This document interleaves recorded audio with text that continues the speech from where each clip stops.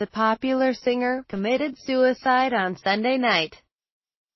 Singer Dharampreet who lived in Bharatnagar in Bathinda, ended his life on Sunday night, June 7, by hanging himself from a fan. The late singer was going through a rough patch, and was battling depression for quite some time. Till date, the singer had released 26 music albums, and most of them chart-busters. Dharampreet could not come up with any album since a year according to reports.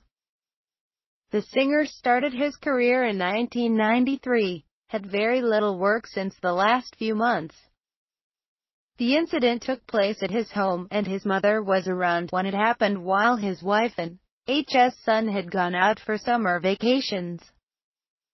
The singer's mother knocked his door on Sunday night, and when there was no reply, she got the neighbors to break it open. He was found hanging from the ceiling fan. No suicide note was found at the singer's residence and for under Section 174 of the IPC, has been lodged at the moment.